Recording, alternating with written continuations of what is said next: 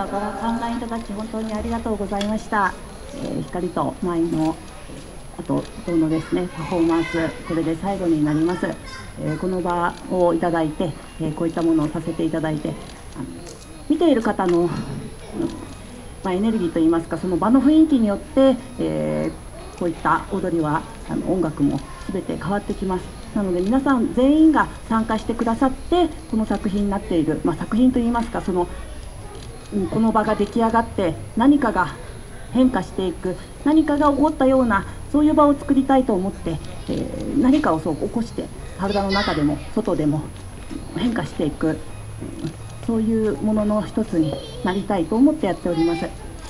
また、えーこういった機会がいただけましたらぜひ皆さんご参加いただけるようにお願いいたします。ありがとうございました。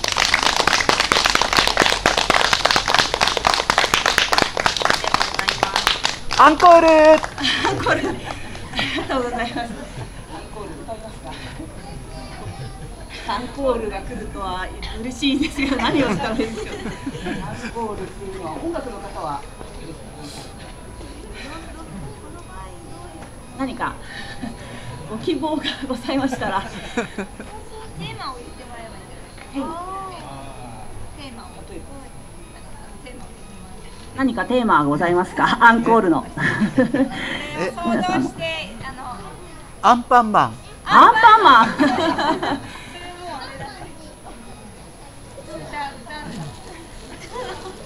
アンパンマンは、まあ、世界の平和。楽しくは。笑顔に。明るく平和。アンパンマン、なかなか難しいお題が出ましたけども。はい。じゃあそろっと。はい5分だけ、うん、もういいもう太鼓でいいです声出してみまし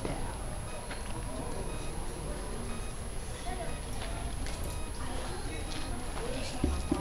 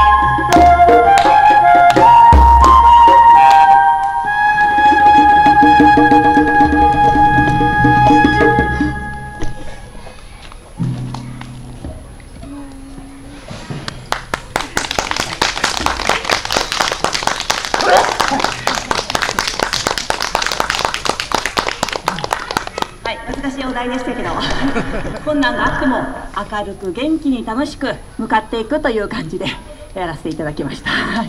皆さんで、えー、励まし合ってそうやってやっていきたいなって思います。言葉にしなくてもこう通じ合うところっていうのはこういうところであると思いますのでまたぜひ皆さんと一緒にこういう場を、えー、作り上げられたらいいなと思います。よろしくお願いします。ありがとうございました